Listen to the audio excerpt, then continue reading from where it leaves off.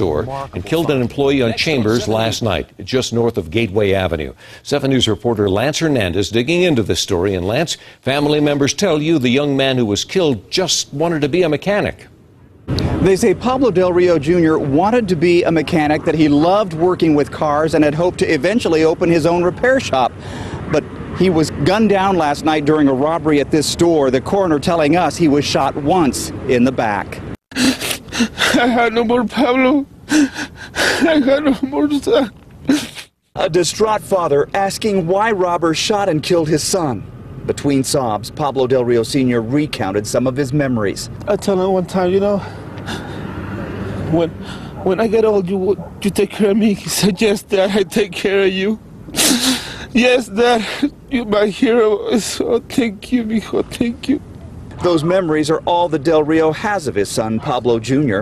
Police say two gunmen wearing ski masks entered the O'Reilly Auto Parts store at 918 last night, demanding cash. In the midst of this, the victim, unfortunately, he took off and ran out the store, and he was shot at that point. Del Rio Jr. fell in the parking lot. He was taken to University Hospital and died a few minutes later. In the way that it happened, uh, it's just a shock to us all, and none of us will really have any closure until whoever did this is caught. The victim's cousins are pleading for anyone who knows anything about the shooting to come forward.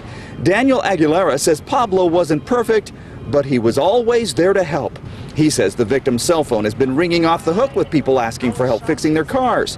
He noted one caller in particular. She was very saddened by the news and very distraught, began to tear up saying, why? He was such a good guy, such a loving guy. He was my angel. Back live, you can see flowers, balloons, and a sign on Del Rio's SUV, which is still in the parking lot. Someone even left an auto part on the ground next to it as a tribute to the young man. Again, police are asking for help. If you know anything about this case, contact Denver Police or Crime Stoppers. In Northeast Denver, Lance Hernandez, 7 News.